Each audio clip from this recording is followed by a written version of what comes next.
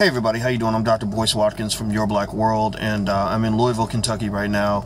And I went to another rally last night on behalf of Judge Olu Stevens. And uh, Judge Stevens is the brother who um, took the stand against uh, all white juries being used to convict African American defendants.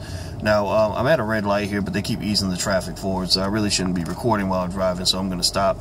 But, um, you know, I wanted to um, let you know that uh, I have reason to believe that everything we've been doing has been working.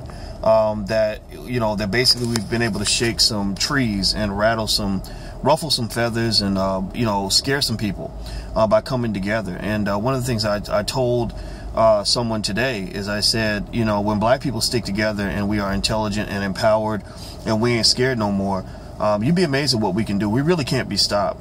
Uh, that's why people have had such a vested interest in so, so over so many years and decades and centuries to slowing you down, distracting you, undermining you, and crippling you. Um, now uh, they can still try the tactics they're going to, going to try, but uh, we come back with counter tactics that are even stronger, and we are going to win. Um, this is an intergenerational fight.